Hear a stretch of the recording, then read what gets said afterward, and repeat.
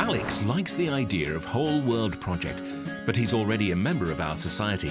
But there is a little problem. Alex doesn't have a lot of friends, and he has not the talent to invite new friends. Luckily, the project has Business Machine System, which allows having new partners even without inviting them personally. Every day, thousands of people visit our site from all over the world. The majority get acquainted with our site through open resources, and they register without any personal invitations from other subscribers. Those registrations automatically distributed among subscribers who activated the service, Business Machine. The service is activated for one month. Alex already activated Business Machine for July, reserving one place for himself. Christina and Mark followed Alex by reserving 5 and 10 places respectively.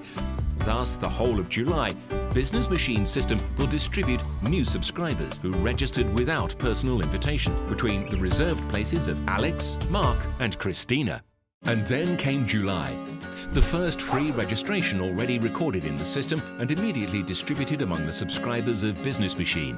In the purpose of fair distribution and preventing a subscriber from accelerating the work of Business Machine by using dummy registrations, each new cycle of all the places in the queue shuffled in random order. Business Machine never stops working and it'll distribute free registrations among Alex, Mark and Christina. The July month has come into an end and we can't sum its total results.